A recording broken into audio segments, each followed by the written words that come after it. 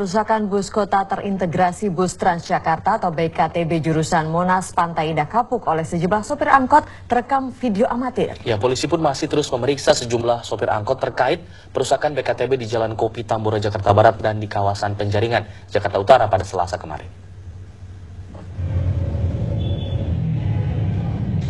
Dalam video amatir ini terekam sejumlah sopir angkutan kota jurusan Muara Baru Muara Angke memberhentikan bus kota terintegrasi bus Transjakarta atau BKTB. Tak hanya memberhentikan paksa, mereka juga melempari bus dengan batu dan merusak spion serta wiper bus. Bahkan sopir dan kedua petugas BKTB dipaksa turun. Peristiwa ini berlangsung hampir setengah jam, hingga akhirnya para sopir angkutan kota tersebut membubarkan diri.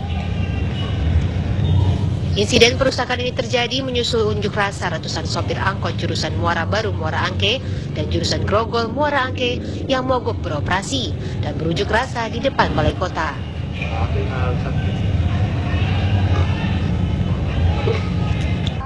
Para sopir angkot memprotes kehadiran BKTB jurusan Pantai Indah Kapuk Monas yang bersinggungan dengan jalur yang mereka lintasi. Pasalnya pendapatan mereka dinilai semakin kecil karena mayoritas penumpang beralih ke bus tersebut. Dari Jakarta, Robin Freddy, TV One mengabarkan.